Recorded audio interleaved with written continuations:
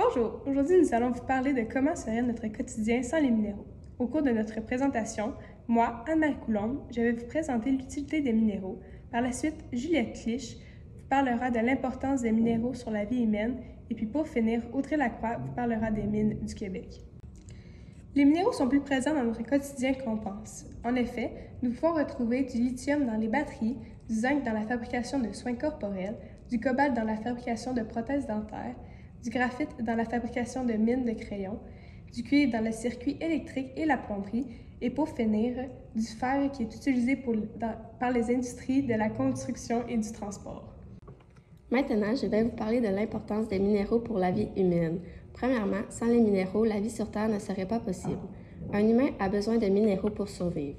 En effet, les minéraux dans un corps humain proviennent de l'alimentation et ils sont primordiaux au bon fonctionnement de l'organisme. L'alimentation est un élément clé du bien-être et de la santé. Elle est essentielle et vitale.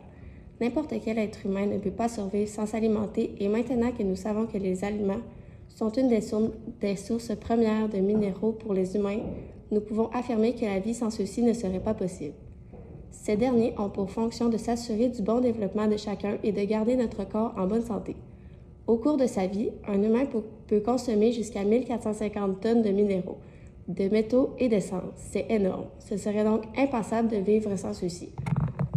Les minéraux sont indispensables pour la croissance, surtout chez les plus jeunes, la cicatrisation de blessures, la libération d'énergie dans le corps à partir des aliments, l'utilisation des nutriments essentiels et le contrôle des fluides à l'intérieur et à l'extérieur des cellules du corps.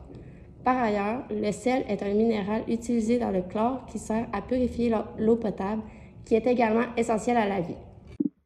Québec, on retrouve un total de 24 mines actives, une fonderie, un port et une usine. Exactement, on retrouve 9 mines d'or, une mine de lithium et une fonderie de cuivre en Abitibi-Témiscamingue, une mine de feldspath en Outaouais, 4 mines d'or et la seule et unique mine de diamants du Québec au nord du Québec, une mine de graphite au Laurentide, une mine de mica en Mauricie, une mine de niobium au Saguenay-Lac-Saint-Jean, ainsi que 4 mines de fer, une mine de titane, une usine de fer et un port de fer sur la côte nord.